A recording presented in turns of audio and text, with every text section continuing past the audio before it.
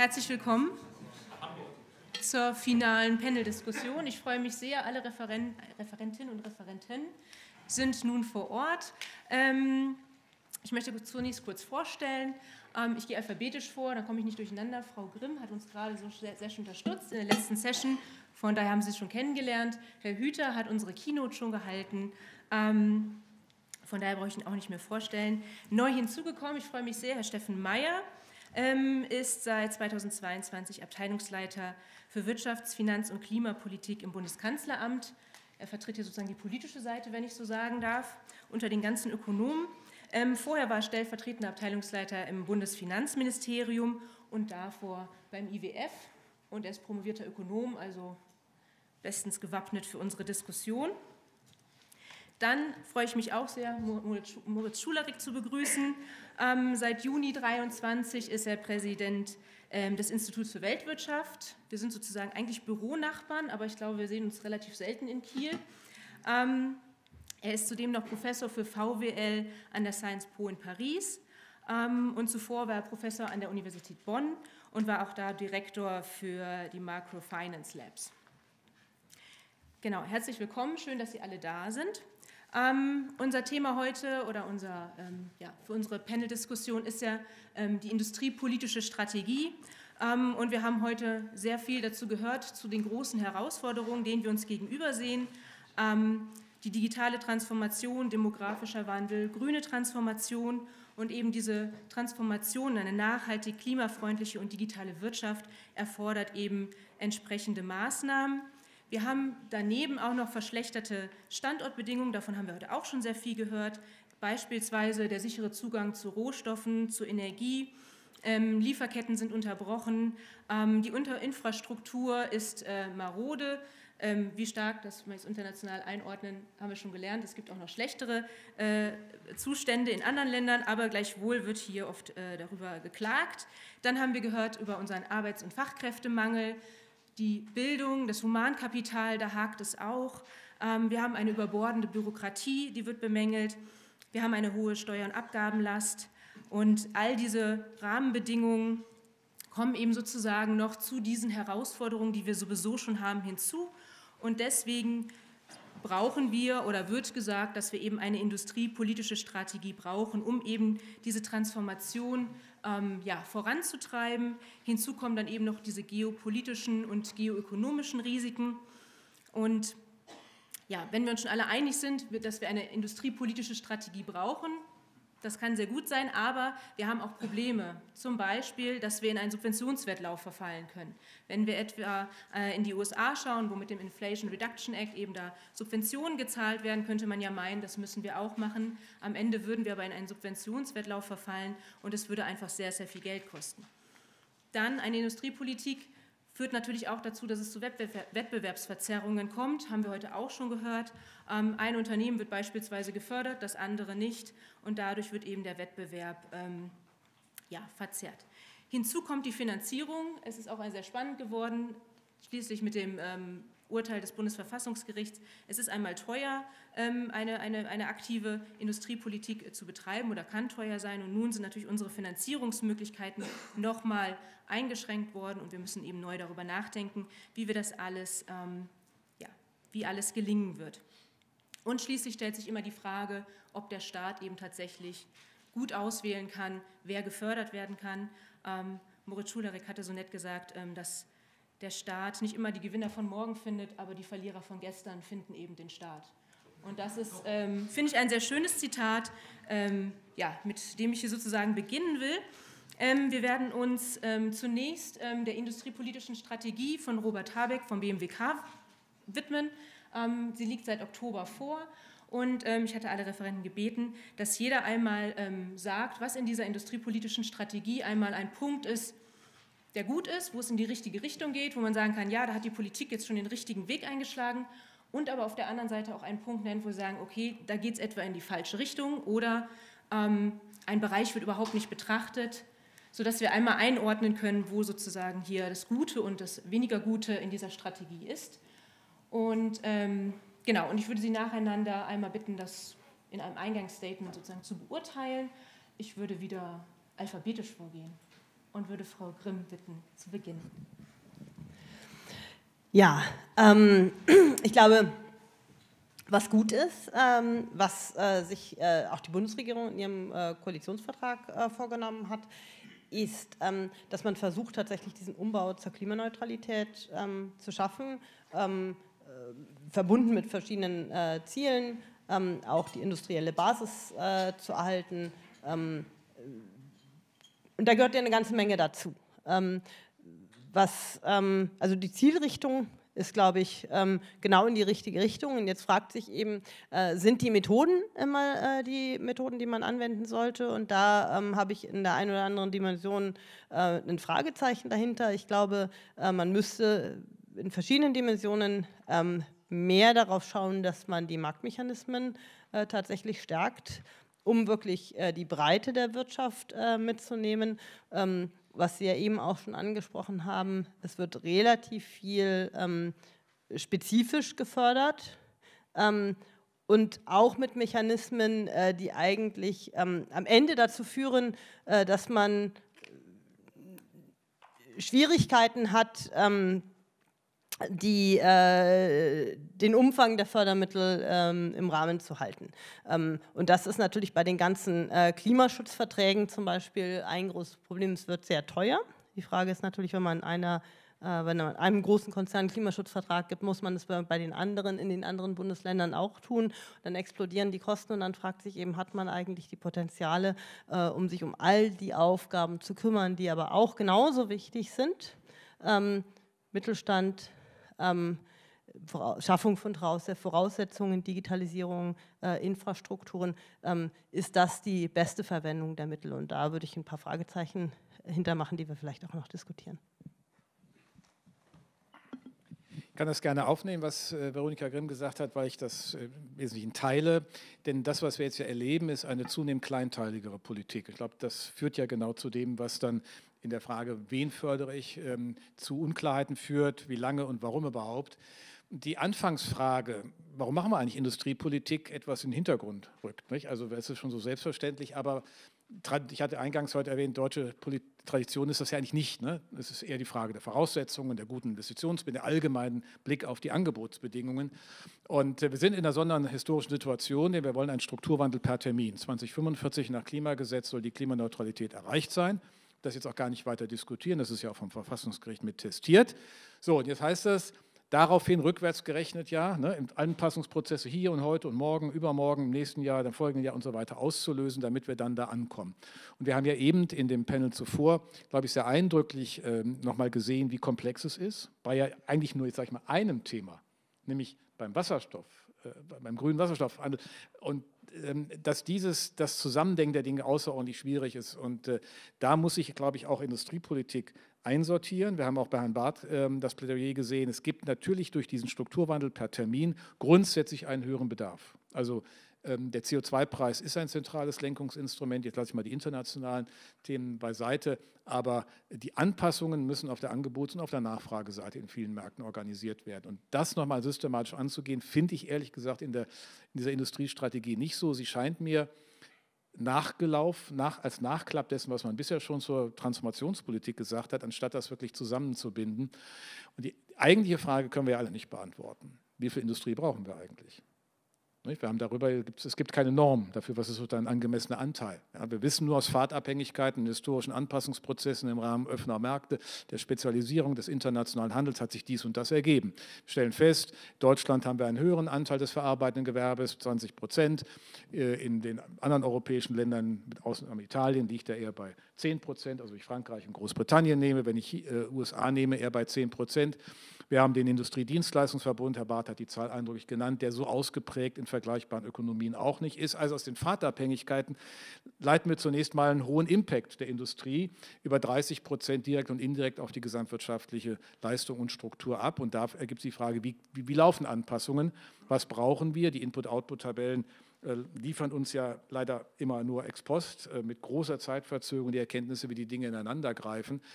Aber was wir, glaube ich, auch lernen ist, und das ist mein letzter Gedanke, und da wird die, die Fusion oder die, die, die Differenziertheit, glaube ich, auch klar des Themas, wir brauchen halt auch energieintensive. Wenn ich also mir Polymerchemie anschaue, einfache Materialien, spezielle Materialien, dann haben die was mit äh, veränderten Mobilitätsmöglichkeiten zu tun, weil in, dieser, in diesen Einheiten der Mobilität diese, ähm, Chema, diese äh, Spezialchemie zur Anwendung kommt. Das gilt für alle Grund, andere Grundstoffproduktionen auch. Natürlich brauchen wir irgendwie Stahl, weil der ja nicht verschwindet in, sein, in, in dem, was wir an Konzepten haben, auch in transformativen Bereichen. Und das macht die Sache so unübersichtlich. Also wir haben, keine, wir haben eigentlich keine Zielvorstellung, äh, können wir auch nicht haben, aber Politik suggeriert mit einer Industriestrategie, dass sie sie eigentlich haben kann. Und dann wird es sehr schnell kleinteilig und dann landen wir ich bei derselben Schlussfolgerung äh, wie Veronika Grimm. Naja, dann wird das auch dann so relativ teuer und man muss das, glaube ich, erstmal europäischer denken. Das ist jedenfalls in der Strategie adressiert, aber diese europäische Einbettung, glaube ich, äh, öffnet dann auch noch mal ein bisschen gerade auch die Fragen der infrastrukturellen Voraussetzungen, die das alles hat. Ja, ähm, also erstmal ganz herzlichen Dank für die Einladung. Äh, dann äh, der Hinweis, äh, wir diskutieren die Industriestrategie, die Herr Habeck vorgelegt hat, also nicht die, im, nein, nein, nein, kein Problem, nicht die in der ähm, Koalitionsvertrag auch ähm, ja, ähm, genannte Industriestrategie der gesamten Bundesregierung. Das ist aber völlig unproblematisch, weil in der großen Richtung ähm, man dem zustimmen kann, das gute Element. Was bedeutet das nämlich, den Industriestandort äh, Deutschland äh, in, Zeiten, in Zeiten von Zeitenwende mit all den geopolitischen ähm, Verwerfungen, mit der Notwendigkeit zu diversifizieren, Risiken abzubauen, zu erhalten, in Zeiten der Klimakrise mit der Notwendigkeit zur Transformation und in Zeiten des demografischen Wandels mit den Herausforderungen, was Fachkräfte und Arbeitskräfte angeht. Also das ist, glaube ich, dort alles auch so ähm, beschrieben und richtig. Ähm, die, warum ist äh, Industrie und dieser Sektor so bedeutsam? Ähm, einmal wegen der schieren Größe, aber ich glaube, ähm, damit für die Wirtschaft so bedeutsam, aber auch für die Gesellschaft. Man denke nur dran, äh, gut bezahlte, ähm, hochqualifizierte Arbeitsplätze, ähm, sodass sich für die Gesellschaft insgesamt daraus eine besondere ähm, Bedeutung ergibt.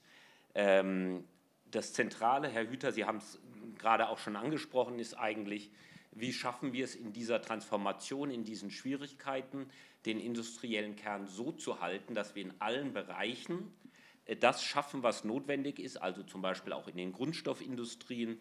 Da mag das eine oder andere dann schon an auch einfacheren Produkten woanders stattfinden. Aber es muss eigentlich immer das Ziel bleiben, dass das, was unseren Standort so ausmacht, nämlich die Ökosysteme aus den großen Unternehmen, den vielen innovativen kleineren, den Start-ups, der hervorragenden Forschungslandschaft und dieser Vernetzung jeweils so hier zu halten, dass uns diese Ökosysteme ähm, ähm, erhalten bleibt. Ähm, Im Übrigen ähm, für unseren Industriesektor besteht ja auch in der Transformation hin zur Klimaneutralität eine riesengroße Chance für die nächsten 20, 30, 40 Jahre wenn wir die Technologien haben, die notwendig sind. Und früher oder später wird global sich jedes Land in diese Richtung begeben müssen. Und wir können dann jene sein, ähm, die diese Technologien haben, diese exportieren können, äh, dann hat man ein Modell, das natürlich lange Zeit sehr erfolgreich war, auch in die, in die Zukunft getragen. Äh, letztlich ergeben sich eine ganze Reihe an Herausforderungen, die sich ähm, ähm, ergeben und die, weil jetzt die Herausforderungen oftmals auch auf der Angebotsseite liegen, Lieferketten als ein Beispiel, Arbeitskräfte als ein Beispiel, dass man so eine Spur weit auch bei angebotsseitigen Maßnahmen ist, wenn man jetzt versucht, Verbesserungen hinzubekommen. Dann muss man von Investitionsdynamik reden. Und ich bleibe jetzt kurz, kann man in der Diskussion machen, was wir tun ähm, an dieser Stelle. Also wenn man ähm, an das Zukunftsfinanzierungsgesetz denkt oder an das Wachstumschancengesetz, das gerade im Vermittlungsausschuss äh, ist. Wir müssen die Innovationsfähigkeit insgesamt äh, verbessern, ähm, sozusagen ein No-Brainer, wenn wir in diesem Zusammenhang erfolgreich ähm, bleiben wollen. Äh, das Angebot an Arbeitskräften mit all den Facetten. Wir haben jetzt ein sehr modernes Fachkräfteeinwanderungsgesetz äh, gesetzt. Das reicht aber natürlich äh, nicht aus. Wir müssen auch gucken, welche Potenziale es national noch gibt. Bürokratie wurde genannt, Planungs- und Genehmigungsbeschleunigung. Ich glaube, da haben wir sehr viel gemacht. Äh, bei Bürokratie die ersten Schritte, das muss ähm, ganz klar weitergehen. Dann natürlich die Energieversorgung ähm, die eine große Bedeutung hat, wo wir, glaube ich, mit dem Strompreispaket etwas vorgelegt haben, ähm, was da gerade für die Stromintensiven äh, einiges äh, bringt. Jetzt haben wir bei den Netzentgelten nach ähm, den Einsparungen, die wir nach dem Urteil des Bundesverfassungsgerichts machen mussten, die Mittel nicht zur Verfügung gehabt, äh, dort zu helfen. Das geht aber eher an die Haushalte und die Breite der Unternehmen, weil, wie Sie wissen, die Stromintensiven bei den Netzentgelten ja weitgehend eine Entlastung haben. Ähm, wir müssen natürlich den Weg zur Klimaneutralität schaffen. Äh, fast wöchentlich ähm, machen wir einen neuen Baustein. Gestern die äh, Kraftwerkstrategie, die wir vorgestellt haben. Ich würde äh, noch ähm, die Handelspolitik nennen wollen. Ein sehr schweres ähm, Geschäft, auch gelegentlich mit den europäischen Partnern. Das eine oder andere haben wir trotzdem geschafft, aber für uns als offene Volkswirtschaft natürlich extrem wichtig. Äh, noch schöner wäre es, wenn man wieder über die WTO multilateral handeln könnte. Äh, und dann kommt der Punkt, wo, glaube ich, dann immer die Kritik kommt. Wir müssen, glaube ich, auch schauen, wo die Schlüsseltechnologien äh, liegen, äh, die die Zukunft bedeuten. Ähm, da gehört ähm, ähm, Mikroelektronik dazu, viel kritisiert, dass wir starke Subventionen an dieser Stelle machen. Äh, dazu gehört ähm, KI, dazu gehört äh, Cloud-Infrastruktur, äh, Daten und vieles mehr. Und ich glaube schon, auch ähm, angesichts der geopolitischen Schwierigkeiten, dass da einige Bereiche mit dazugekommen sind. Wenn man jetzt zum Beispiel an Photovoltaik denkt, ein schwieriges Geschäft, aber dort völlig abhängig von anderen zu sein, schwierig. Und ähm, Verkehrsinfrastruktur wurde schon genannt. Also so marode nehme ich jetzt die Verkehrsinfrastruktur nicht wahr. Wir machen Rekordinvestitionen, ähm, sowohl aus dem ähm, Kernhaushalt, aus dem Bundeshaushalt, als auch über den KTF. Äh, da kommen gut 100 Milliarden äh, zum Beispiel für 2024 äh, zustande. Und äh, letzter Punkt, ich glaube, ähm, Wohnraum, ausreichenden Wohnraum zu haben bei der Zuwanderung. Wir brauchen bei dem, was das auch an sozialen Spre ähm, Brennstoff, äh, Sprengstoff bedeutet, äh, ist ein weiterer Punkt, wo wir ähm, Fortschritte machen müssen und natürlich in dem Umfeld momentan ausgesprochen schwierig. Danke. Ist das schon an? Ja, wunderbar. Na, dann erstmal ganz herzlichen Dank für die Einladung. Freue mich sehr, hier sein zu dürfen. Ich ähm, habe jetzt die glückliche Aufgabe, der Letzte zu sein. Und, ähm, aber ich, ich, ich sage mal, drei, sag mal drei Punkte und dann können wir auch gleich in die Diskussion stellen. Das erste ist, also äh, wir, wir sind ja alle äh, gerade in der Wissenschaft oft dabei, äh, sagen wir, Strategielosigkeit, Denkdefizite, Silo-Denken in der, in der Politik äh, zu verorten. Insofern, wenn die da jetzt mal anfangen, sozusagen umfassend zu denken und Strategien sich zu überlegen und wirklich umfassend zu denken, bei der nationalen Sicherheit steht das ja auch noch aus, leider ein, ein Riesendesiderat, ähm, dann ist es erstmal nicht schlecht. Ähm, also ich finde es find okay, dass die, die sich anstrengen, äh, da äh, vernünftige Pläne äh, zu entwickeln. Ähm, äh, und ich würde mir wünschen, dass es an anderen Punkten auch ist, äh, insbesondere Rüstungspolitik äh, und Rüstungsindustrie ist, ist einer der großen Bereiche, wo wir sträflicherweise auf unseren Händen sitzen. Ähm, ich glaube, es ist auch richtig aus dem Grund, dass wir, wie Herr Mayer sagte, ähm, viele große Herausforderungen gerade parallel haben. Äh, die jede für sich eine Herkulesaufgabe ist. Also die Klimatransformation, die, die demografischen Herausforderungen inklusive Zuwanderung, die Digitalisierung, unser himmelschreiender Rückstand bei allem, was, was äh, Zukunftstechnologien und Digitalisierung ist. Äh, und last but not least eine Weltwirtschaft, die das Rückgrat unserer, unseres, unserer Industrie und auch unserer Exportwirtschaft war, die nicht mehr die gleiche ist, die sie war. China wird uns diesmal nicht aus der Patsche helfen. Also in dem Umfeld drüber nachzudenken, was können wir eigentlich machen, was sind die, was sind die großen Herausforderungen, eine Strategie zu entwickeln und diese, äh, damit auch eine, eine, Vision davon, was sein kann, äh, richtig und super. Und, und ich denke, die, sozusagen diese Führung ist, ist auch politische äh, Art, ist dringend notwendig. Zweiter Punkt, das ist jetzt der ökonomischere, natürlich gibt es grundsätzlich gute Argumente für Industriepolitik, auch theoretisch sehr fundierte und solide Argumente, aber die sind wie halt alles abhängig von Voraussetzungen. Und ich glaube, das klang ja bei Veronika und bei Michael auch schon an, ähm, ein großes Problem, und ich glaube, das ist auch in dieser ganzen Schuldeninvestition, Schuldenbremse-Investitionsdebatte, ähm, fällt das immer ein bisschen unter den Tisch, ist, wir haben einfach massiv an Staatskapazität verloren. Ähm, und das ist genau einer der, eine der wichtigen Voraussetzungen, um äh, solche Strategien, solche Politiken, äh, Meyer sprach ja auch den Wohnungsbau an, das ist ja auch eines der großen Versagen jetzt der letzten Jahre, ähm, wir haben offenbar die Kapazität verloren, staatlicherseits solche, sowas umzusetzen. Das heißt, da gehen so ein bisschen bei mir auch die roten Lichter an. Schön, dass Sie darüber nachdenken. Ich weiß nicht, wie wir das wirklich dann auf die Straße bzw. auf die Schiene bringen, äh, diese schönen Gedanken. Also kann der Staat das? Ähm, es scheint ja oft, dass wir sozusagen eher an, an selbstgemachten Regeln gerade äh, ein bisschen ersticken und deshalb nicht vorankommen. Ähm, drittens, wenn man das machen will, was sind sozusagen für mich die, die, die, ähm, die, die Grundfesten und auch da äh, vielleicht der ein oder andere kritische Bemerkung. Erstmal natürlich nicht gegen, sondern so gegen unsere komparativen Vorteile an Subventionieren, an äh, äh, Industriepolitik machen, sondern in die hinein mit denen. Also jetzt irgendwie ähm, ähm, Dinge aufzubauen, in denen wir noch nie gut waren, äh, mit viel öffentlichem Geld, ist sicherlich nicht sinnvoll.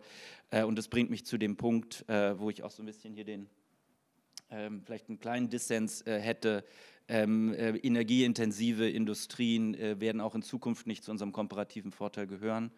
Äh, und das ist äh, die große Gefahr, die ich aktuell bei dieser Industriepolitikdebatte sehe, dass sie genau das Einfallstor für die Verlierer von gestern ist. Also wir beklagen im gleichen Satz, dass das ja unklar ist und ordnungspolitisch nicht so richtig. Aber den Stahl brauchen wir schon, aber die Grundstoffindustrie brauchen wir schon, auf Chemie. Auf einmal ist dann sozusagen klar, welche Partikularinteressen wir bedienen müssen. Und äh, da hätte ich einfach ein ganz klares Credo und Plädoyer, wenn wir das machen, dann nicht für die Verlierer von gestern, nicht rückwärts gewandt und das Erhalten irgendwelcher illusionärer Ökosysteme, sondern nach vorne gewandt in das, was uns morgen reich macht, was, was Industrien von morgen sind. Und ich glaube, da sind wir uns alle einig, die energieintensiven Industrien werden nicht der Wachstumsmotor von morgen sein. Äh, und äh, also wenn wir knappes öffentliches Geld in die Hand nehmen, dann nicht dafür, sondern für das, was, äh, was digital, was kreativ, was innovativ ist, äh, was grün ist und ähm, äh, am besten diese Politik nicht mit, nicht mit dieser energieintensiven ähm, äh, Industriedebatte verbinden. Ich lasse mal da. Gut, danke schön. Möchten Sie in der Runde noch auf irgendwas antworten oder? Ja, Güter? Ich würde gerne einen Gedanken anschließen, weil die Frage ist ja, nochmal, wenn die zwei Argumente für eine andere Industriepolitik. Eine ist Dekarbonisierung. Wir haben ein Zeitziel, das ist nicht beliebig. Ja, also wir wollen, lass es 2050 sein, aber zur Mitte des Jahrhunderts klimaneutral sein. Das führt ja zu dieser Intensität von industriepolitischen Anstrengungen. Das zweite ist aber Resilienz und geopolitische Unsicherheit, außenwirtschaftliche Abhängigkeiten. So. Und das führt natürlich dann erstmal zur Frage, da ist es egal, ob es energieintensiv oder nicht energieintensiv ist, mit Blick auf Resilienz äh, sind dort Themen auch interessant. Und mein Punkt ist nur, äh, Moritz, die, wenn, ich mir die, wenn ich mir Covestro anschaue, wenn ich äh, das Unternehmen besuche auf der anderen Rheinseite in Leverkusen, dann hat das nichts mit Verlierern von gestern zu tun. Das sind keine Verlierer von gestern. Die haben die ganze Zeit im Markt eine außerordentlich erfolgreiche Situation. Jetzt haben sie einen Energiekosteneffekt, der zu Standortfragen führt, weil dieser Energiekosteneffekt da einen hohen Anteil hat. Aber das ist ja nicht per se gegeben, sondern Sie haben ja die letzte Zeit unsubventioniert oder weitgehend neutral jedenfalls, aber Sie haben diese, diese Position ja halten können und haben durch Innovation und durch die, durch die Polymerchemie, also Materialentwicklungen, die wir in vielen modernen Anwendungen benötigen. Also ich, die Gleichsetzung von energieintensiv und Verlierer von gestern halte ich jedenfalls für nicht ganz richtig. Und wenn ich mir Stahlwerk anschaue, wir haben eine Zeit bei Georgs Marienhütte Aufsichtsrat, ähm, dann ist natürlich die Frage, was brauche ich für Stahl in Deutschland? Das sind Spezialstähle, das sind Sonderanwendungen, Sonderlegierungen in bestimmten, wiederum auch in der Materialentwicklung relevanten Veränderungen von Mobilität. So, und das ist der Punkt, da sollten wir einen Blick drauf äh, werfen. Darüber, das kriegen wir statistisch nicht so leicht abgebildet, aber vom qualitativen Argument zu sehen, energieintensiv ist nicht per se der Verlierer von gestern, sondern die Frage ist, können die sich so umstellen oder können wir denen einen Transformationspfad anbieten, dass mit Blick auf Dekarbonisierung und Resilienz Beiträge geleistet werden können. Sonst ist dieses Resilienzargument äh, sozusagen wertlos. Also wenn wir das, das ist ja nun gelernt worden, wir fragen, was heißt das eigentlich? Ich würde mal sagen, außenwirtschaftliche Abhängigkeit ist von Unternehmen zu organisieren. Ja? Den Aufsichtsräten nicht bin, ist das eine permanente Frage, welches Länderportfolio bedienen wir, unter welchen Risikogesichtspunkten. Ähm, aber umgekehrt für die Volkswirtschaft als politische Frage ist natürlich schon ein Thema und da haben wir gelernt. Also das würde ich gerne nochmal da einen Blick drauf werfen. Ähm, die, diese Gleichsetzung ist mir ein bisschen kurz gesprungen. Lass mich kurz ein, wenn ich, ich darf. Ich würde vielleicht auch noch einen Aspekt anschließen, ähm, weil ich auch, also ich glaube, wir sind uns einig, dass es nicht klug ist, energieintensive Unternehmen mit einer einzelwirtschaftlichen Förderung hier am Standort zu halten. Ähm, äh, aber andererseits haben wir natürlich ähm, eine Grundlage für die Produktion ähm, von auch komplexen Wertschöpfungsketten, die auch auf der energieintensiven Industrie basieren.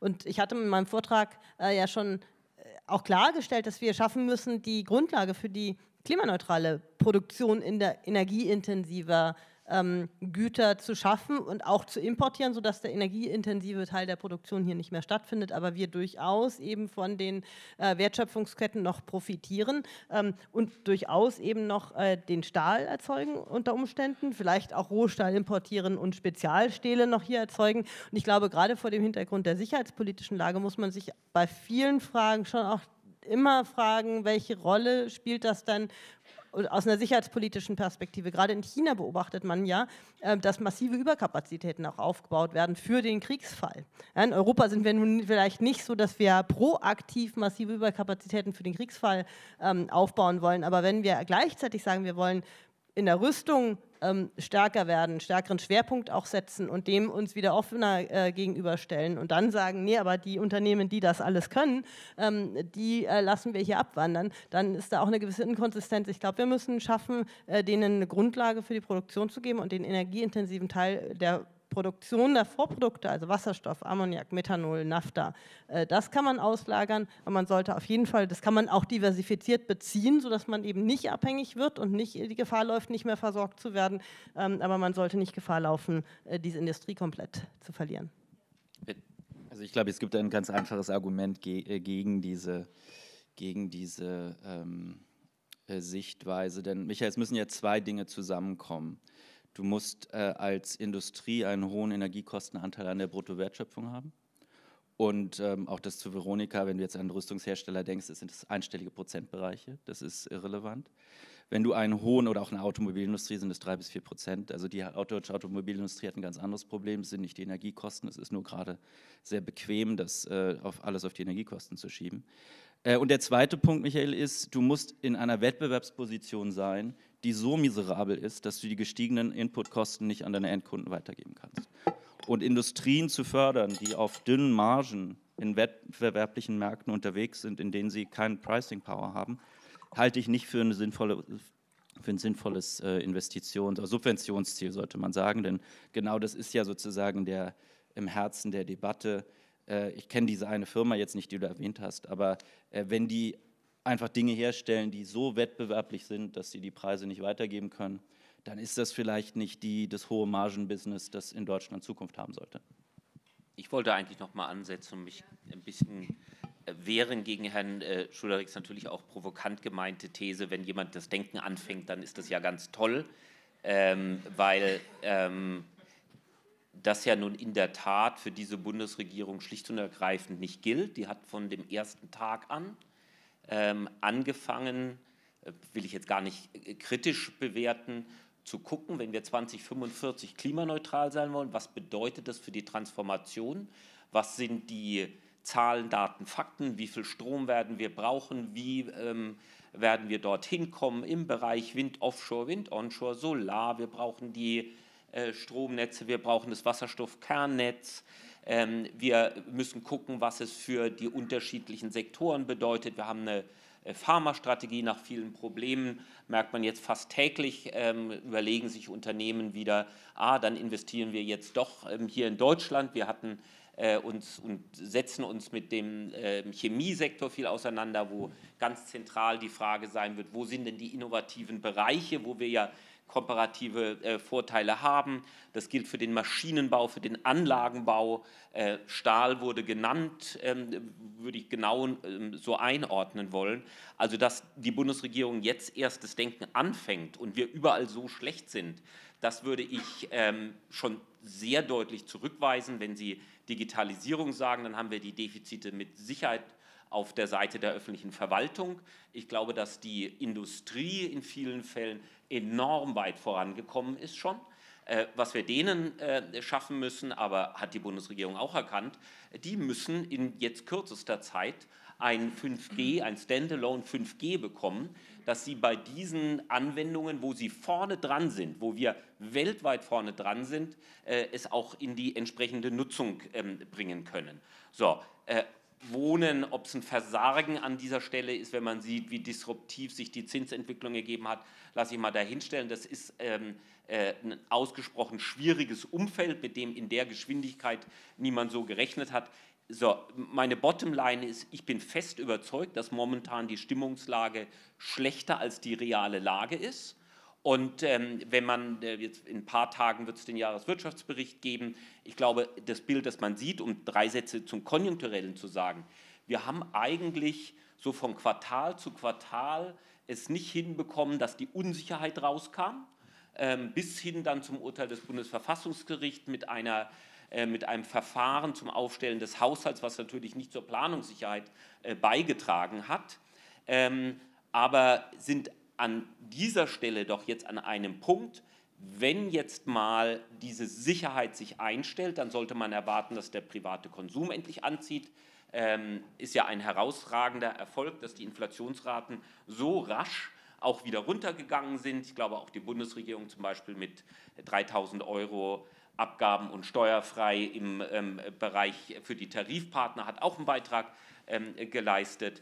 Ähm, die Reallöhne steigen äh, seit dem zweiten Quartal. Wenn jetzt mal Sicherheit reinkommt, die Sparquote nicht hoch, sondern ein bisschen runter geht, sollte der private Konsum anziehen. Das zentrale Element werden die Investitionen sein. Die waren durch die ersten drei Quartale im letzten Jahr ja noch recht gut. Anlageninvestitionen, glaube ich, irgendwo zwischen drei und vier Prozent. Das vierte Quartal, wir wissen noch nicht so genau warum, war jetzt schwächer. Wenn das anzieht, haben wir zwei Elemente, äh, die sehr positiv sein werden. Die große Unbekannte ist der Außenhandel, welchen Beitrag wir dort bekommen. Wie geht es in China weiter? USA sieht ja relativ stark aus. Also ich glaube, dann geht es konjunkturell voran.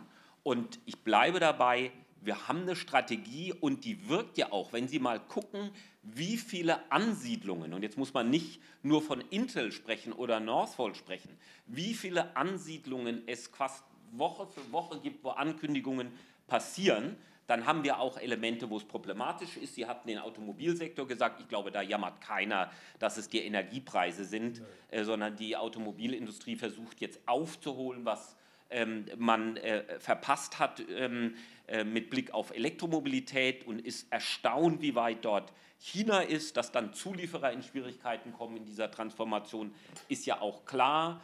Aber ähm, ich finde dieses sehr negative Bild ähm, nicht richtig. Ich bin der Meinung, ähm, wenn man jetzt den sicheren Boden gewinnt, wenn Unsicherheiten rausgehen, dann werden wir eine Entwicklung sehen, die wird in diesem Jahr keine dramatisch tolle sein. Wir haben ja auch mit dem schlechten äh, letzten Quartal aus 2023 einen Unterhang, aber dann kann man so eine Wegstrecke zeigen, die hoffentlich dann auch selbstverstärkend in einen positiven Aufschwung führt.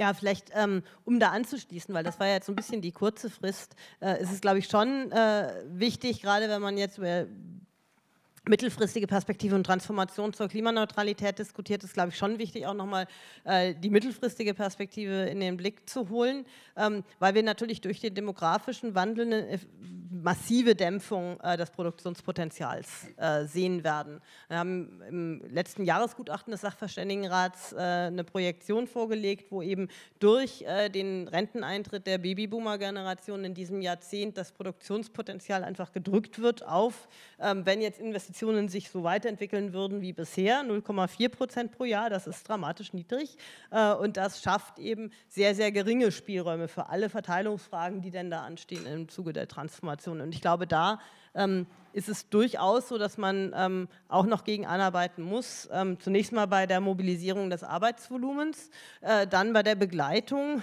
äh, der Entwicklung, die sich aufgrund des Fachkräftemangels ja wirklich einstellen wird, dass man einfach eine Substitution von Arbeit äh, durch Kapitalgüter sehen wird.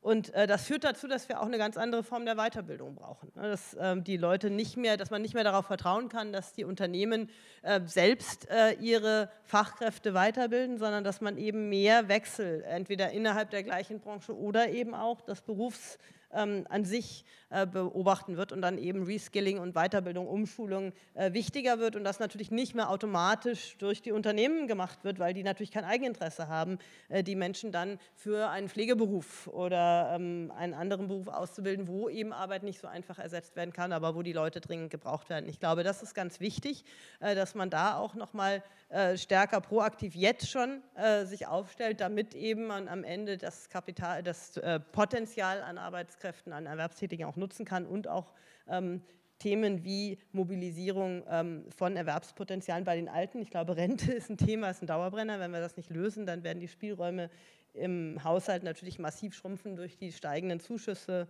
äh, zur gesetzlichen Rentenversicherung. Also äh, da muss man sich eigentlich dringend zusammenraufen, ähm, um äh, die Rente, um eine wirklich Rentenreform anzupacken, die eben auch Spielräume schafft. Ähm, und dann natürlich ähm, die Potenziale bei ähm, Frauen heben. Die, wir haben äh, uns das auch mal angeguckt, eine Erwerbsbeteiligung ist hoch, aber es ist unglaublich viel Teilzeit auch viel mehr Teilzeit. Regina Rippan hatte vorhin auch eindrücklich nochmal gezeigt, eben wie groß auch die äh, Lücke zwischen dem Verdienst von Frauen und Männern sind, wenn sie ähm, äh, nach, äh, nachdem sie eben aufgrund von Schwangerschaften pausiert haben. Und ich glaube, da können wir noch massiv Fortschritte machen durch Kinderbetreuung, durch Anpassung des Ehegattensplittings, aber auch, ich glaube, auch schon durch eine Wertschätzung. Ich glaube, wir brauchen auch einen Mentalitätswandel. Man muss einfach äh, vollzeitig berufstätige Frauen mehr wertschätzen. Das ist in unserer Gesellschaft noch nicht so verbreitet. Man wird eher, äh, man kriegt eher immer noch Erstaunen entgegengebracht, äh, wenn man das relativ schnell äh, nach der Geburt wieder macht. Ne? Also äh, viel Unverständnis, äh, wenig äh, Respekt, den man da entgegengebracht wird. Ist vielleicht auch eine Aufgabe der Politik, da irgendwie ein anderes ähm, Mindset so ein bisschen mit zu provozieren. Also, ich würde gerne noch mal eine Runde zu dem Argumentationsmuster mit den Energieintensiven, weil äh, nochmal, es sind nicht per se Verlierer der Vergangenheit, oder die, die, sonst wären sie ja schon weg, ne? dann wären sie unter normalen Marktbedingungen verschwunden. Und das, wir haben natürlich auch, das ist ja völlig normal, in energieintensiven einen Desinvestitionsprozess in den letzten anderthalb, zwei Jahrzehnten gesehen. Da ist schon mal aus das ist eine Reaktion auf die veränderten Standortkosten und so weiter. Aber es hat sich dann eine Struktur eingependelt, auf die jetzt schockartig nicht marktgetrieben, sondern politikinduziert ähm, durch den russischen Krieg in der Ukraine einfach Preise aufgerufen wurden, die sozusagen diesen Standort in Frage stellen. Und das in einer, im Zeitpunkt, das macht die Sache ja so herausfordernd, wo im Grunde große Investitionsentscheidungen auf Hilfe anstehen, nämlich transformationsrelevante Investitionsentscheidungen. Also wie komme ich zu grünem auf Wasserstoff, grünen Wasserstoff basierender äh, Stahlproduktion. Wie kann ich das in der Chemie machen? Und ähm, da würde ich schon sagen, dass das mit Blick auf das Dekarbonisierungsziel und auf die Resilienz etwas ist, was man sich sehr genau anschauen soll. Jedenfalls mit kleinen Anteilsargumenten kommt man da, glaube ich, nicht weiter. Ähm, und ob das jetzt äh, wenn es dauerhaft sich nicht rechnet, rechnet es sich dauerhaft nicht. Da werden die schon darauf reagieren. Aber die Frage ist, ob politisch etwas inszeniert ist, äh, was wir eigentlich von dem Ergebnis her gar nicht wollen. Darum geht es ja.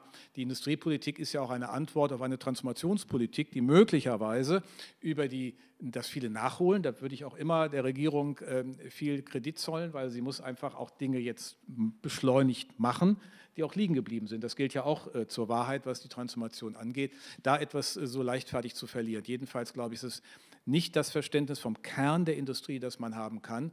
Und da, also der Wandel wird enorm sein, aber energieintensiv ist nicht, nicht per se alt. Das ist, ist, ist auch eine ganz andere Kategorie, sondern energieintensiv ist in einer bestimmten Zeit einfach herausgefordert. Die Frage ist, was brauchen wir? Ne? Und das ergibt sich, wenn wir es hier nicht mehr haben, müssen wir unter Resilienzgesichtspunkten sehen, wie kriegen wir es. Dass die Marge ähm, ist ja immer eine Vergangenheitsmarge, die Zukunft war eigentlich das Thema. Rechnen sich die Investitionen noch, die sie vorhatten? Und das ist doch die Entscheidung. Die sich vorhaben, die sich noch gerechnet. Ja, vielen Dank.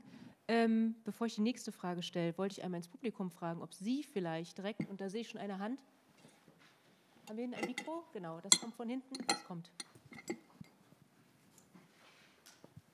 Ja, guten Tag. Mein Name ist Kran aus dem Bundesfinanzministerium. Und ähm, ich habe eine Frage an Frau Grimmer. Vielleicht kann Herr Hüter auch helfen. Er ist ja auch Historiker. Wir haben ja jetzt diese Transformation ähm, als eine, Hüter hat gesagt, ein Strukturwandel zum Termin. Und da würde mich mal interessieren, hat es eigentlich in der Geschichte einmal einen erfolgreichen Strukturwandel zum Termin, so eine Transformation gegeben. Ich frage deshalb, vor einigen Wochen hatte der IWF äh, so einen Bericht, wo er geschrieben hat, äh, dass das eine, ein, ein Unterfangen ist mit einem ungewissen Ausgang, weil wir bis jetzt eigentlich immer neue Energieträger bekommen haben. Also wir hatten Holz und dann kam die Kohle hinzu und dann kam das Öl und Gas, Kernenergie. Wir haben nie auf einen alten Energieträger verzichtet, sondern wir haben ihn immer ergänzt durch neue Energieträger. Und jetzt verabschieden wir uns von äh, den fossilen Energieträgern und, und zwar als eine staatliche Maßnahme. Und da würde mich mal interessieren, gibt es dafür irgendwo aus der Wirtschaftsgeschichte etwas, wo man sagt, ja, das, da gibt es eine Best Practice, hat schon mal funktioniert. Wir können positiv in die Zukunft schauen. Dankeschön. Ja, ich kann ja mal anfangen. Also ich glaube, die ganze Umweltpolitik äh, kann man mal angucken. Äh, da war es auch so, dass die Probleme aufgetreten sind, man die externen Effekte gesehen hat, die man nicht im Griff hatte, weil man äh, auf sie gar nicht geachtet hat und dann ähm, sich schon bemüht hat, die in den Griff zu bekommen. Ne? Umweltverschmutzung, ich bin an der Elbe aufgewachsen, da konnte man nicht baden, als ich aufgewachsen bin und äh, jetzt kann man, meine Kinder, wenn die Oma und Opa besuchen, können da baden. Ähm, und das ist natürlich schon ein Erfolg äh, der Politik, die darauf aufmerksam geworden ist und dann Maßnahmen ergriffen hat. Äh, der Unterschied zur aktuellen Situation, würde ich sagen, ist, ähm, dass man da eben auch persönlich betroffen war und auch selber die Möglichkeit hatte, ähm, durch Maßnahmen äh, die Effekte abzustellen. Die waren eben relativ lokal. Und das ist natürlich der große Unterschied. Aber da hat man das sicherlich so gemacht, da hat man auch verschiedene ähm, äh, Regulatorien, Grenzwerte eingezogen, äh, die dann dazu geführt haben, dass die Umweltverschmutzung reduziert wurde. Andernorts in der Welt ist es einfach noch ein Riesenproblem. Ne? Also vielleicht fällt also jemandem noch was von der Elbe an den Rhein äh, überführen und sagen, da war es genauso. Als ich Kind war, wenn man da als Schüler hingeradelt ist, hat es gestunken, da lagen die toten Fische. Das ist jetzt nicht mehr so. Und der blaue Himmel über der Ruhr ist also nicht, nicht per Termin oder zum bestimmten Termin, aber so eine Herausforderung gewesen. Aber was Sie hier andeuten, Herr Kran, was wir verändern, ist die energetischen Grundlagen des Industriemodells. Und das machen wir jetzt. Nach 200 Jahren müssen wir aus den fossilen Energieträgern raus und die Frage ist, ob die Kernfusion uns beispielsweise doch vielleicht schneller als gedacht nochmal eine Option mitliefert. Ähm, da ist ja doch einiges in Bewegung. Aber jedenfalls ist das ein, eine Herausforderung, ein Strukturwandel, der gewaltig ist. Und im Grunde sind es ja die zwei, wenn Sie wollen, die zwei Treiber oder die zwei Kennzeichen der Moderne seit äh, 200 Jahren, also diese andere Nutzung fossiler Energieträger durch Kapitalintensivierung äh, und Produktivitätsfortschritte und ähm, die Nutzung des Faktors Arbeit. Wir haben ständig mehr Menschen in Arbeit gebracht in dieser industriellen Welt. Jetzt haben wir weniger. Das heißt, äh, wir haben aus beiden Gründen, also einen, einen ist, ist, wenn Sie wollen, 200-jährigen Prozess ändern, ändern wir gerade. Wir müssen in der nördlichen Hemisphäre, vielleicht mit Ausnahme der USA, mit weniger Arbeitsvolumen auskommen. Wir können immer noch gegenarbeiten, ist in dem einen Plan diskutiert worden, haben wir viele Instrumente, aber irgendwann ist es auch ausgereizt. Ne? Und dann müssen wir die Fragen, wie steigern wir die Produktivität? Da sind wir eigentlich bei dem zentralen Punkt. Für beide Fragen, die Energieeffizienz, wenn man so, die Produktivität ähm, und wie organisieren wir diesen Umbau des Kapitalstocks, bei dem wir ja nicht marktgetrieben den Kapitalstock verändern, sondern auch politikgetrieben. Wir nehmen ja noch Kapitalbestände raus, bevor sie vor dem Abgang stehen. Also das, ne, das wäre so, als wenn Sie eine Brücke, die in zehn Jahren äh, zu erneuern wäre, zehn Jahre vorher rausnehmen. Da haben Sie eigentlich nicht groß was gewonnen, außer der Verkehr macht es. Also Ne, so, aber wenn Sie ein, ein, Kraftwerk, das funktionsfähig ist, noch zehn Jahre Laufzeit aber rausnehmen, weil Sie dieses Kraftwerk wegen seines CO2-Abdrucks nicht mehr ertragen, dann müssen Sie eine andere Kategorie anwenden. Und dann geht es nicht um Produktivität an sich, sondern, wir haben eben kurz besprochen, eigentlich um den CO2-Bilanzeffekt, den diese Investition auslöst. Das macht auch nochmal diese historische Dimension deutlich, die Sie ansprechen. Wenn ich will auch gerne noch zwei oder drei Sätze ähm, ergänzen. Äh, der eine Punkt ist, ähm, die Technologien, um zur Klimaneutralität äh, zu kommen, haben wir schon heute. Jetzt haben Sie angesprochen, Kernfusion, etwas, was momentan eine ziemliche Dynamik entwickelt, also in dem Sinne auch technologieoffen vorzugehen. Das wird ja auch für den Wasserstoff und die Formen, in denen Wasserstoff transportiert werden kann, eine ungeheure Dynamik. Aber wir wissen heute, wir haben die Technologien. Ich wollte darauf hinweisen, was ein großes Problem darstellt, ist eigentlich das Koordinierungsproblem dass auf dem Weg dorthin, wer nutzt die als erstes, wenn sie noch teurer sind, man natürlich in der internationalen Wettbewerbsfähigkeit ein großes Problem hat. Ähm, Stichwort Klimaclub, äh, das dem Bundeskanzler so ungeheuer wichtig ist, weil wenn wir jetzt ähm, alle dabei hätten und sagen, na jetzt setzen wir alle den gleichen CO2-Preis, dann geht dieser Wandel schneller, wir setzen dann und dann auf diese Technologien, wir machen jetzt grüne Leitmerke und wir sprechen auch schon uns alle dafür aus, äh, bis da und da müssen 20 Prozent dann grün sein, dann wäre natürlich ein ganz wesentliches Element auch noch geleistet. Und dann, äh, weil mir das immer so wichtig ist, ähm, Frau Grimm, Sie sagten, früher da war, hat man das gemerkt, da war das eigene Handeln ähm, ähm, so viel leichter und man hat es mitbekommen. Ich glaube, dass das heute auch so ist. Also der Boom, sich die eigene Solaranlage aufs Dach äh, zu setzen und damit einen Beitrag ähm, zu leisten, äh, ist auch ein Element. Und dann eines ist mir ganz wichtig, wir müssen ja bei der Digitalisierung extreme Fortschritte machen, die berühmten Smart Meter. Und ich glaube, ähm, die Erfolgschancen verbessert man dann, wenn man diese Zuversicht hinbekommt, Leute, wir können dahin kommen, dass das Ganze auch Spaß machen kann. Nämlich, wenn jemand einen Smart Meter hat und mit einmal gucken kann, oh, dann lasse ich aber meine leise Waschmaschine dann und dann laufen und zu dem Zeitpunkt, zu dem das viel preiswerter ist vom Strom und wo nicht so eine große Nachfrage ist, dann wird, das werden ja ganz wichtige Elemente sein. Oder ich habe mein Elektroauto und das kann äh, bidirektional laden. Wann lade ich es denn auf und wann gebe ich denn auch wieder was ab? Dann hat man, glaube ich, schon gute Beispiele. Wir müssen da nur die Fortschritte machen, in denen man dann auch Bürgerinnen und Bürger echt motivieren kann, diesen Weg mitzugehen. Jetzt kann ich leider nicht lassen, da muss doch etwas Wasser in diesen äh, edlen Wein, den Sie uns da gerade eingeschüttet haben. Denn leider hat äh, der, die, der, Datenschutz vor allen Dingen aus dem BMWK dazu geführt, dass das, was mit dem Smart Meter möglich ist, nämlich die fernauslesbaren Laser, dass das nicht wie in Rumänien möglich ist, dass wir so eine App auf unserem Handy haben, wo man in Echtzeit sehen kann, was der Euro-Gegenwert von Wasser, Strom und sonstigem Verbrauch ist, Gas, sondern maximal oder frühestens alle zwei, mindestens zwei Monate. Das heißt, es ist also die tägliche Möglichkeit, die Echtzeit, die wir nutzen könnten, um die Verhaltensanpassung, die habt ihr gerade nicht möglich gemacht, weil der Datenschutz wieder wichtiger ist, weil angeblich dann der Mieter mitkriegt, was der Vermieter da in der Wohnung macht. Ja, also das kann man ja auch alles regeln, aber es, ist, es hängt bei uns dann immer, und das ist so ein bisschen diese Ausführungsdebatte, die, die Moritz vorhin ansprach, mit guter Gedanke, aber warum machen wir nicht das, was Europa möglich lässt, in anderen Ländern Europas auch? Also ne, Rumänien fällt uns sonst nicht so als Vorbild ein, aber hier ist es das mal, also da ist noch Raum, dann müsst ihr die Sachen aber auch mal ein bisschen ideologiefrei betreiben. Okay, dann braucht es die Novelle und die nächste Novelle und dann kommt man dahin. Die dritte Novelle. Herzlichen Dank. Noch eine Frage aus dem Publikum. Ja. Keine Frage aus dem Publikum? Sonst hätte ich noch eine Frage. Wir haben ja schon über die Finanzierung gesprochen und die Finanzierungsmöglichkeiten wurden ja mit dem äh, Haushaltsurteil des Bundesverfassungsgerichts eingeschränkt, sodass ja vielleicht viele Maßnahmen oder nicht alle so realisiert werden können, wie man sie vielleicht realisieren möchte. Wie würden Sie vielleicht priorisieren oder die Finanzierung darstellen. Es gibt ja verschiedene Vorschläge, sei es die Reform der Schuldenbremse, sei es ein Fonds. Muss man überhaupt was machen? Kann man auch einfach nur priorisieren und einfach so damit leben, wie wir es gerade haben? Ähm, was sagen Sie, Frau Grimm? Ja, also wir haben ja äh, im Sachverständigenrat eine Anpassung der Schuldenbremse vorgeschlagen ähm, und haben äh, das auf Grundlage gemacht von äh, Berechnungen äh, des zukünftigen der Entwicklung des Schuldenstands, äh, wenn man diese Anpassungen vornimmt. Und das ist eigentlich ganz äh, aufschlussreich nochmal gewesen. Ähm, was wir angenommen haben, ist, dass alle fünf Jahre ähm, uns wieder so eine unerwartete Krise trifft, wo man einfach wirklich Geld in die Hand nehmen muss. Und das ist ja nicht total pessimistisch, weil die Zeiten werden ja auch unruhiger. Es ist ja zu erwarten, dass jetzt ähm, häufiger mal was passiert als in der äh, Vergangenheit. Ähm, wenn das äh, der Fall ist, dann würden unsere Lockerungen, wir haben ja vorgeschlagen, dass unter 60 Prozent Schuldenstand man 1 Prozent strukturelle Verschuldung an, eingehen kann, zwischen 60 und 90 0,5 Prozent und über 90 eben die 0,35, die jetzt erlaubt sind. Und wir haben vorgeschlagen, dass so eine Übergangsregel nach einer Notlage etabliert wird, dass man nicht sofort wieder ähm, auf die ähm, äh, Regelgrenzen der Schuldenbremse zurück muss, äh, sondern so ein bisschen einen Übergang, einen weichen Übergang hat.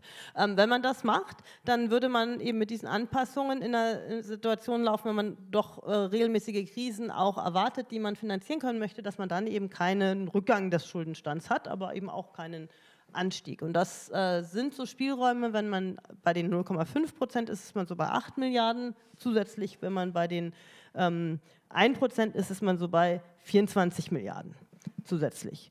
Ähm, das ist das, was dann dazu führt, dass unter plausiblen Szenarien eben einen konstanten Schuldenstand verspricht. Und ich glaube, das sollte man durchaus machen. Aber was man auch sagen muss, ist, um mal die Finanzierungsseite zu beleuchten, wenn wir eben keine Strukturreformen machen, zum Beispiel die Rentenversicherung äh, reformieren, sodass der Zuschuss äh, zur gesetzlichen Rentenversicherung seitens des Bundes von aktuell 112 Milliarden Euro ähm, nicht ansteigt zumindest oder nicht so ansteigt, wie es erwartbar ist, dann nützt das natürlich auch nichts. Dann äh, reduzieren sich die Spielräume im Haushalt natürlich einfach durch die Demografie weiter. Und ich glaube, äh, man muss beides machen. Man muss eben ein paar mehr Spielräume schaffen. Jetzt kann man sich streiten, ob man äh, sagen soll, man sollte auch so eine Investitionsregel machen oder nicht. Ich glaube, das muss man politisch verhandeln, äh, dass man mehr investiv und mehr zukunftsorientiert ausgibt. Andere sagen, man müsste das festschreiben.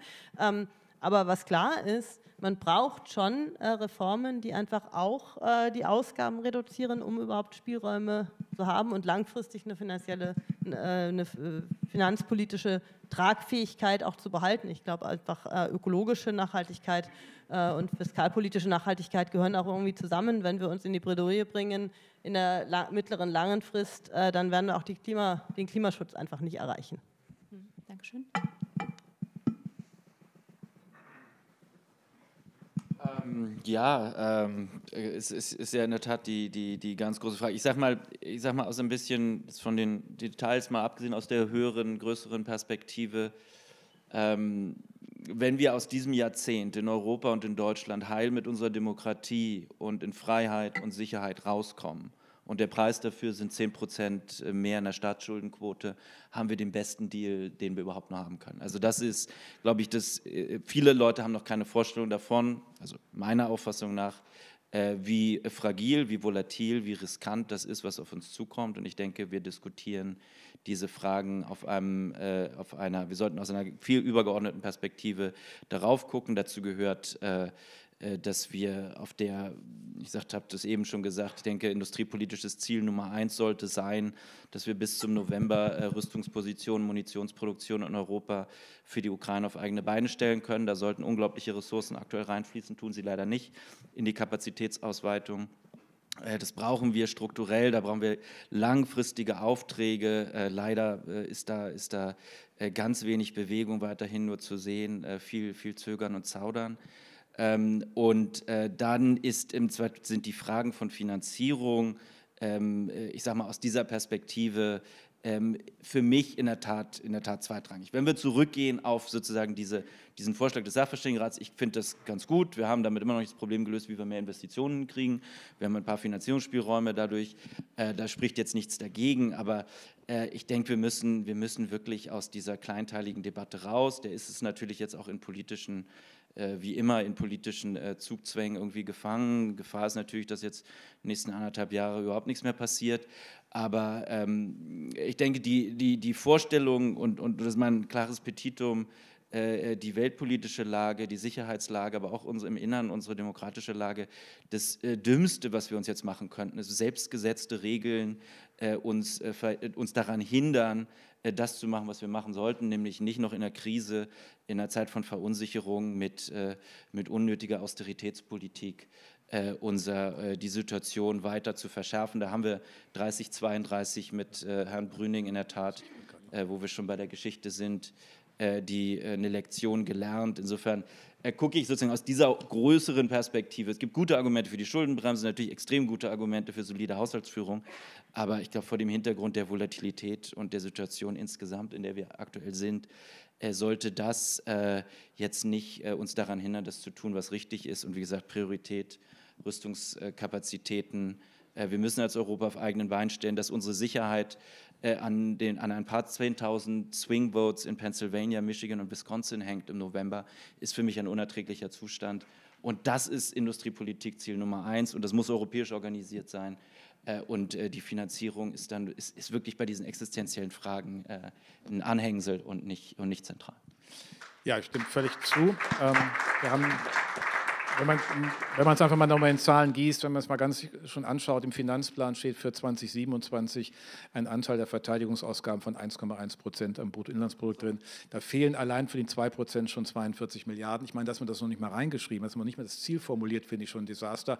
Aber äh, da sind wir völlig beieinander. Am Ende ist es nur leider so, wir müssen über kleinteilige technische Fragen reden. Ich finde das auch völlig prima vom Sachverständigen gerade auch zu sagen, die Ausgangsfeststellung war, die Schuldenbremse ist zu starr. Ne, das war ja der Befund. Und ich glaube, dass das sich nach, ich habe das ja mal vor fünf Jahren schon gesagt, jetzt so annähert, finde ich ja schon mal eine super äh, Entwicklung. Und ich glaube, man muss da aber einfach ganz pragmatisch abwägen. Ist es die Schuldenstandsquote als wichtige, kann auch die Zinssteuerquote sein? Das sind ja letztlich Anspannungsquoten im Haushalt, die uns die äh, äh, Handlungsfähigkeit indizieren oder auch nicht. Und es ist leider so, dass dieses Verfassungsgerichtsurteil geradezu durch seine fragwürdige Übertragung der Jährigkeit und Jährlichkeit auf Notlagensituationen ja noch eine Zusatzrestriktion eingebaut hat, die, die erstmal ja überhaupt nicht zwingend ist in seiner Logik. So, also deswegen gibt es ganz konkret einfach auch technischen Reformbedarf und es gibt halt die eine Frage, wie schaffe ich Spielraum für all die Möglichkeiten oder die Notwendigkeiten, die wir haben und wie organisieren wir jetzt schnell äh, die Fragen der Investitionen. Das war die Idee dieses Sondervermögens, ist ja in einer Ihnen bekannten Zeitschrift auch im Januarheft äh, näher, näher beschrieben worden äh, im Wirtschaftsdienst. Ähm, ich glaube, nur eins müssen wir auch ganz nüchtern sehen, muss das Politische. Wenn wir das jetzt nicht schaffen in diesem Bundestag, wo es eigentlich dann muss Regierung und Opposition zusammen, dann laufen wir Gefahr jedenfalls, dass wir im nächsten Deutschen Bundestag keine verfassungsändernde demokratische Mehrheit mehr haben. Denn wer sagt uns, dass wir denn im Bundestag ab 2025 noch zwei Drittel in Händen der demokratischen Parteien haben? Das heißt, äh, die Ermahnung an die Politik, jetzt mal die, die festgezurrten Positionen auch beiseite zu räumen, ernst zu nehmen, was Zeitenwende ist. Das hat noch keiner wirklich. Was du andeutest, ist ja die Frage letztlich, wird die NATO noch funktionieren mit einem Trump zweites Mal im Weißen Haus, von dem wir davon ausgehen, wenn er da auftaucht, wird er keine Kompromisse in der Sache, keine Kompromisse mehr in der Person machen. Das heißt, das müssen wir selbst, das, darauf müssen wir doch vorbereitet sein. Wir können ja nicht so warten bis November und dann fängt die Regierung an festzustellen, ach, ist ja auch blöd, wir haben nur noch äh, nur ein Dreivierteljahr bis zur nächsten Bundestagswahl und der Finanzplan ist auch schon aufgeschrieben, sieht das alles nicht vor. Diese Ernsthaftigkeit, das ist nicht angekommen. Das Sicherheitsthema, äh, mal ab, ganz abgesehen von der Lieferfähigkeit des Staates, das adressierst du ja mit dem Thema Demokratiefähigkeit oder Demokratieresilienz, aber die Sicherheitsresilienz, die haben wir nicht am Schirm und das kriegen wir alles nicht zusammen. Ich weiß nicht, wie Sie das abbilden wollen, denn das muss dauerhaft aus dem Steuerhaushalt finanziert werden. Ähm, das andere, die Finanzierungen sind dann noch nicht geleistet. Und wenn Sie dann noch mal ein bisschen bei der Steuer gucken, dass wir außerhalb der, der eigentlich oben überall liegen, jedenfalls bei der Unternehmenssteuer 20 Milliarden Luft bräuchten. Also ergibt sich ein, ein Druck im Steuerhaushalt, äh, der, der, immens ist. Und deswegen muss man in irgendeiner Weise auch ernst nehmen, es geht nicht um die Abschaffung, sondern es geht um die Weiterentwicklung, so würde ich es formulieren, der Schuldenbremse. Das war, auch nie die, das war auch nie der Impuls, irgendwas abzuschaffen, sondern einfach, es gibt Learnings. Und die Lessons learned sollten wir vielleicht aufgreifen. Wenn ich darf, eine ganz kurze Antwort. Ich muss nämlich leider um fünf ähm, los, weil ich noch äh, mein Zug fährt. Der Zug fährt. Der erste pünktliche Zug. Ich hoffe es noch. Äh, nur ganz kurz eine Antwort. Ich meine, mein Beitrag war jetzt zur Finanzierungsseite. Die Frage, was man mit dem Geld macht. Ähm, ist ja auch eine schwierige, weil es ist ja gar nicht gesichert, dass wenn man Spielräume schafft, dass genau das passiert, was jetzt zum Beispiel du dir vorstellst. Also und äh, von daher sind die ähm, Schuldenregeln schon etwas, was uns natürlich auch aufmerksam darauf macht, nicht äh, mit dem Geld alles Mögliche zu machen. Ähm, die Diskussion darüber, ich hoffe das auch, dass die Diskussion darüber zu priorisieren äh, stattfindet und man dann in eine richtig ey, wirklich zukunftsgerichtete Richtung geht. Aber wenn man einfach nur die Spielräume erhöht, wird das nicht die Konsequenz sein. Das ist sehr wahrscheinlich nicht das Resultat, dass man dann gerade die Verteidigungsfähigkeit äh, stärkt. Diese Diskussion müssen wir eigentlich dringend führen, aber ähm, wir sind, glaube ich, noch nicht da, dass man in die Richtung tatsächlich priorisieren würde. Genau. Ich muss mich leider verabschieden. Das ist sehr unhöflich, dass ich jetzt aufspringen muss. Äh, danke allen. kurz auf Wiedersehen und, und wünsche noch eine gute.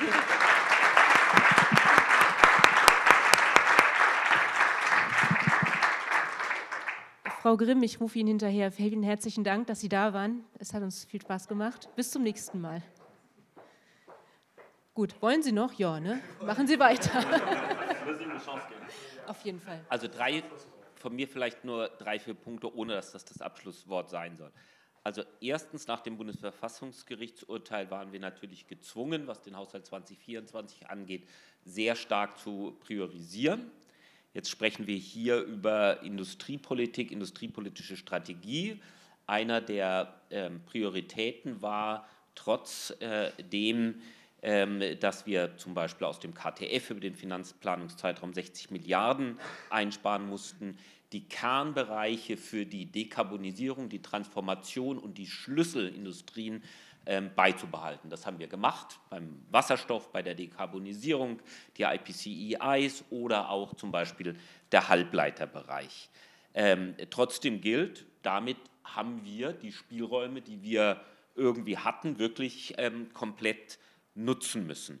Ich würde gerne als zweites den Hinweis machen, ähm, Herr Schulerik, Sie haben das so ein bisschen auch angedeutet, äh, leider, leider ist Frau Grimm jetzt nicht mehr da. Ich glaube, wir müssen in diesen unsicheren Zeiten in all diesen Elementen, die über Bürgerinnen und Bürger ähm, äh, einstürzen, ähm, sehr gut aufpassen, dass wir in den sozialen Sicherungssystemen ähm, keine Fehler begehen, die es mit einem Mal auslösen, dass Bürgerinnen und Bürger, sei es der Weg äh, zur Transformation, sei es der Weg der Unterstützung der Ukraine, nicht mit einmal gefährdet.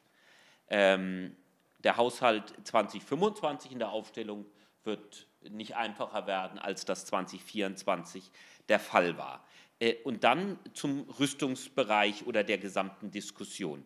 Also Nummer eins, wir nutzen momentan das Sondervermögen und können auch über die jetzt noch kommenden Jahre, auch mit Hilfe des Sondervermögens, die NATO-Quote von 2% des BIP einhalten. Punkt, Herr Hütter. Werden wir ein, nein, werden wir einhalten.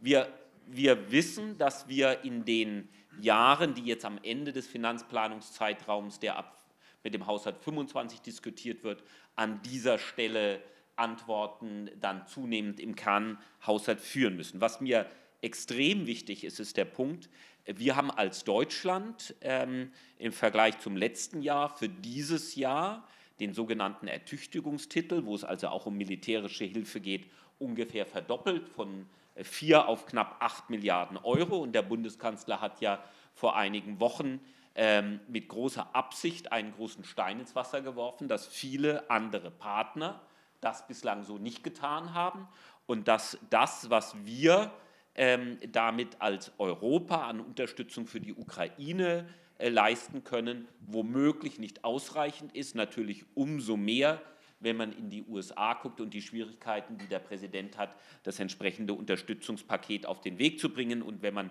an anstehende Wahlen denkt, ähm, ist das ja nochmal ein Reminder, wie wichtig es ist, dass wir hier besser werden. Aber die Diskussion führen wir dann nach 25? Nein, wir führen doch, wir sind doch mittendrin in dieser Diskussion. Äh, und folgender Punkt, ich würde Ihnen nicht zustimmen, Herr Schularik, dass sich an der äh, Seite der, ähm, ähm, der Rüstungspolitik, der Rüstungsindustrie und der Kapazitäten nichts tut. Wir sind in einem Daueraustausch. Wir sind ja jetzt dabei, äh, mit äh, verschiedenen Unternehmen entsprechende Kapazitäten auszuweiten. Äh, da ist immer der zentrale Punkt, die sind relativ schnell, wenn wir ihnen Abnahmegarantien geben können. Die gibt es jetzt und jetzt muss das beschleunigt vorangehen. Aber ich glaube, Sie würden auch zustimmen, unsere anderen Partner müssen genauso ihren Beitrag leisten. Wir werden es als Deutschland nicht alleine stemmen können. Dass manches bislang zu lange gedauert hat, ähm, ähm, sofort zugestanden, aber ich glaube, dass da eine ziemliche Dynamik an der Stelle drin ist. Das war jetzt kein so wunderschön positives Schlusswort, aber wollen ja. Wir, wollen wir noch ein, ein schönes Schlusswort? Haben wir noch eine letzte Frage aus dem Publikum? Tatsächlich. Tatsächlich. Warten Sie, warten Sie. Sie kriegen ein Mikrofon. Sie brauchen nicht brüllen. Ähm, Herr Hüter hat das ganz kurz angesprochen, die Steuerquote. Warum äh, wird nicht über Vermögensteuer, Erbschaftssteuer, über diejenigen wie beispielsweise Hapag-Lloyd, die 22 das höchste Einkommen hatten in ihrer Firmengeschichte, aber nur ein Prozent darauf bezahlt haben, warum wird das ausgeklammert? Naja, der ganze Steuerbereich, wenn ich das nur allgemein sage, wird ja nicht, auch nicht systematisch behandelt. Wir haben, wir haben 2009 die letzte große Unternehmenssteuerreform gehabt. Wir haben die Zeiten ins Land gegangen, es war eigentlich zu Gerhard Schröder die dreistufige Steuerreform, die sowohl Einkommensteuer als auch Körperschaftssteuer adressiert hat. Und seitdem nicht so. Dann haben wir das Erbschaftssteuerthema ja mit der Situation Betriebsvermögen, Privatvermögen, Sie kennen das. Und das führt ja immer wieder zu der Frage, ist, stimmt unser Steuersystem eigentlich insgesamt? Also würde man das, was schon 53 das erste Mal vorgeschlagen wurde, eine allgemeine Rechtsform unabhängige Unternehmenssteuer machen, eine Betriebssteuer wäre vieles einfacher, dann hätten wir das hin und her nicht zwischen Einkommensteuer und Körperschaftssteuer, die müssten im Grunde alle in die Körperschaftssteuer. Dann könnte man auch genau schauen, wie da die Unternehmensbelastung im internationalen Vergleich ist. Nur ehrlich gesagt, äh, wir haben eben bei der Schuldenbremse diskutiert, die Steuerreform, die Schröder und Kohl gemacht haben, dreistufige, sind unter, solche Steuerreformen sind unter Schuldenbremse nicht möglich. Weil sie gar nicht, äh, sie haben halt einen ähm, Ausfallbedarf, das sind dann locker mal 30, 35 Milliarden Euro, jedenfalls war es damals in D-Mark-Beträgen so gerechnet. Und wenn Sie die Glättung des, des Steuersatzes sich anschauen, des Steuertarifs, also kommt einiges zusammen. Sie können unter der Logik der, Steuer, der Schuldenbremse Steuerreform nicht nachfinanzieren. Sie müssen sie vorfinanzieren. Und das findet schon mal politökonomisch gar nicht statt. Also insofern ist das ein insgesamt ganz spannender Diskurs. Ähm, und ob man jetzt äh, eine höhere Steuer, wir haben die historisch höchste Steuerquote ne, mit 24 Prozent. Die sozialen Ab Steuernabgabenquote der OECD weist immer wieder darauf hin, gerade der mittleren Erwerbseinkommen, Zuversteuereinkommen sind besonders hoch bei uns. Äh, und der Spitzensteuersatz beginnt bei 62.000 zu versteuerndem Einkommen. Also und da ist ja jetzt fix seit, äh, also auch schon Theo Weigels seligen Zeiten. Also das ist schon lange so. Das heißt, eigentlich hätten wir Systemreformbedarf in der Steuer. Das wäre so die. Da könnte es noch einen Hoffnungssatz am Ende bauen. Ein Hoffnungssatz am Ende. Was Positives. Naja, den Satz, den ich machen würde, also mit Inflationsausgleichsgesetz, ist nicht so, dass sich in diesem Jahr gar nichts tut. Äh, da sind ähm, annähernd 15 Milliarden, die auch ähm, bei den betroffenen Unternehmen entsprechend ankommen. Wir haben ein Zukunftsfinanzierungsgesetz gemacht, wir haben das Wachstumschancengesetz. Bei diesen beiden Elementen ist, glaube ich, äh, das Vorhaben eher zielgerichtet, äh, Anreize, auch steuerliche Anreize zu setzen. Die Diskussion, die Sie in dem ganz großen Rahmen für Nummer eins sind natürlich die Spielräume dafür ähm, sehr eng. Und Nummer zwei ähm, hat sich diese Bundesregierung ähm, bezüglich Elemente einer großen Steuerreform im Koalitionsvertrag darauf geeinigt, äh, dass bestimmte Elemente der Steuererhöhung nicht passieren. Auf der anderen Seite haben andere Partner gesagt, wir wollen aber auch das, was wir an Steuereinnahmen haben, so absichern, sodass das ein Thema sicherlich für die nächsten Jahre wird. Gut. Dann herzlichen Dank. Ich bedanke mich bei allen Referenten, ich bedanke mich beim Publikum und ich lade Sie noch herzlich ein zum Empfang unten und alle weiteren Fragen können da ja noch geklärt werden. Auf jeden Fall.